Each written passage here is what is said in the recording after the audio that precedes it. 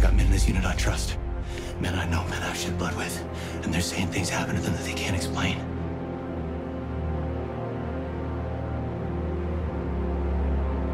My boys are saying they saw the devil. The devil.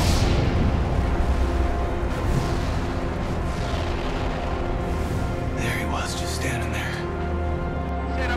A base for tracking the river god.